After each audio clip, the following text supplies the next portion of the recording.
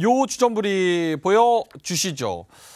자, 신재생 에너지, 해상 풍력 요 얘기를 좀 해보겠습니다. CS 윈드 아, 투자자들에게 죄송합니다. 반성 리포트 나온 날 상승한 CS 윈드. 사실 오늘 그 CS 윈드, CS 베어링 어, 요거는 또 호재가 있었죠.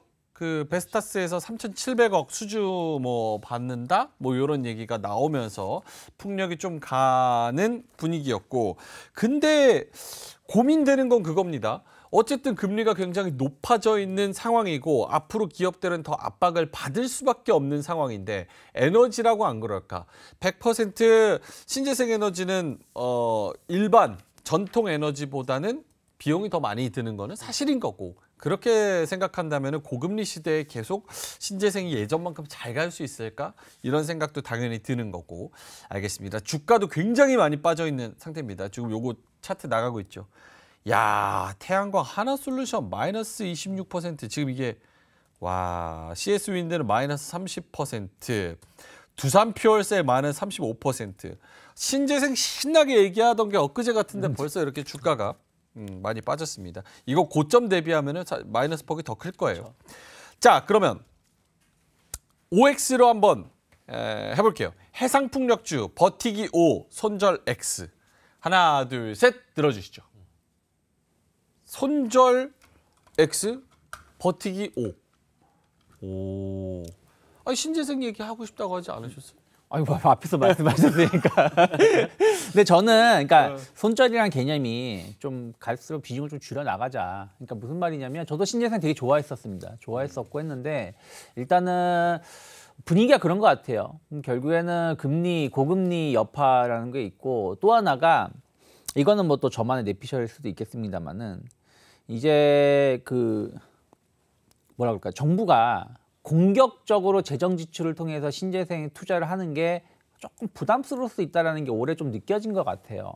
그런 것들도 어떻게 보면은 앞으로 성장은 투자는 계속되겠지만 이 투자가 계속된다고 해서 수익성이 엄청 늘어나는 건 아니지 않습니까? 음. 그러니까 그런 부분들이 약간 어 약간 노이즈가 있는 것 같고 또 하나는 어쨌든 투자자 분들께서는 어 앞으로 미래를 이끌어갈 성장주에 계속 어, 갈망하시는 것 같아요. 그쵸. 그게 미국도 마찬가지고 우리나라도 마찬가지고 그러다 보니까 AI라든지 로봇이라든지 이런 뭐 부분들에 대한 어떤 거와 비교한다라면 아무래도 태양광, 풍력 이런 것은 조금 떨어질 수밖에 없지 않을까라고 음. 본다라면 당분간은 조금 노이즈가 좀 낄 수밖에 없지 않을까 생각을 좀 하고 있습니다. 그래서 뭐 저는 뭐 증권사에서 뭐, 리, 뭐 사과 리포트가 나왔는데 나왔다고 하는데 뭐 사과 리포트를 내는 것도 뭐 전 당연하다 뭐 일정 부분은 맞다라고 생각하고 있어요. 하지만 어, 시황 자체를 모든 걸 다 맞출 수는 없다라고 어, 생각을 좀 하고 있, 변명을 하자면 또 그렇게 보고 있습니다. 음,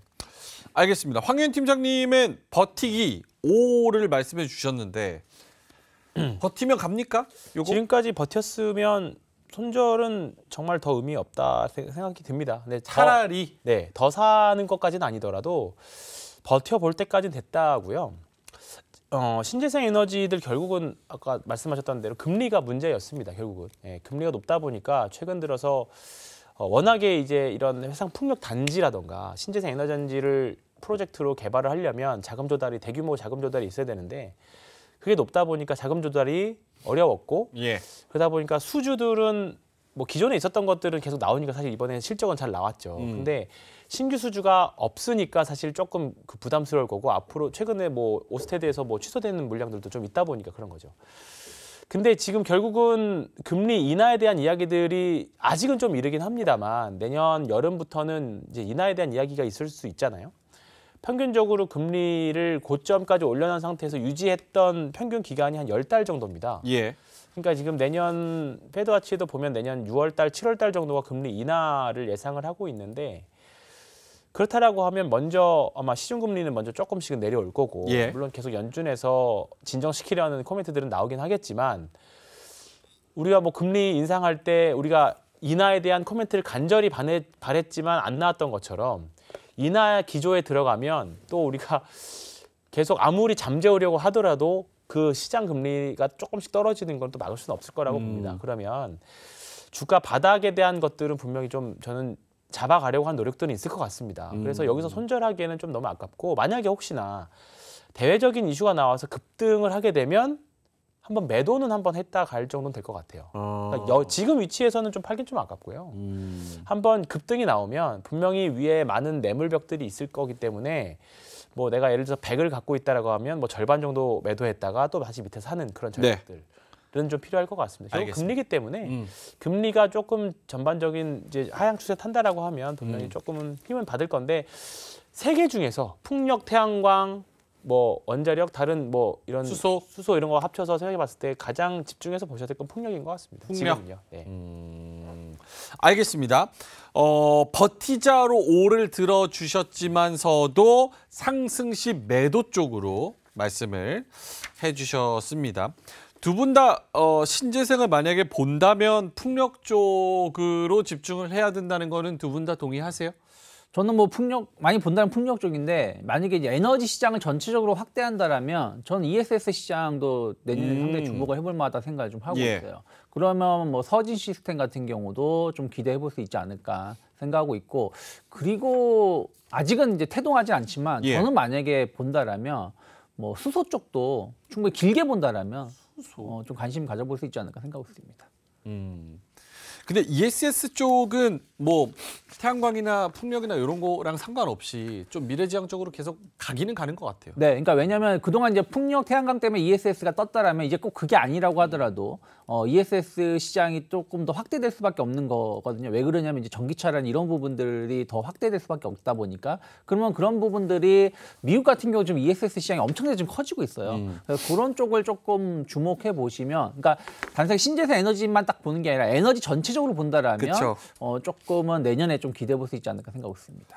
근데 이거 신재생 에너지가 다시 한번 시간이 온다면 언제 와요? 왜냐면 금리 낮아져야 되죠. 지금 트럼프 얘기 채팅창에 있습니다. 그러니까요. 결국 대선까지도 또 변수로 남아 있어야 되죠. 그러면은 적어도 대선이 있는 내년 요맘때를 지나서까지도 또 금리나 이슈까지도 생각하면서도 같이 봐야 되는 건데. 그렇죠. 그러니까 만약에 아까 제가 그 얘기 하려고 했었는데 만약 신재생 에너지가 다시 붐이 나온다. 그럼 트럼프가 대선이 안 돼야죠. 음, 트럼프가 대통령이 되는 순간 다 작살날 거예요. 음, 여기서 더 작살날 것도 없어. 아니 그게 아니라 뭐 신재생 에너지든 뭐 2차 전지든 뭐든 어, 그래요? 아니 반도체도 큰일 날 걸요. 왜냐면은 트럼프가 공장 짓고 있는 거 우리 보조금 안 줄게 이래 버리면은 음. 소송 걸 거야 뭐 할 거예요. 아, 알겠습니다. 자, 그러면 오케이 신재생은 일단은 버텨보자라는 쪽으로 좀 기회를 기다리시면 좋을 것 같습니다. 그리고 상승세가 좀 온다면 그러면 비중을 좀 축소하는 쪽으로 말씀을 하고 계십니다. 이로운 경제 채널 EBC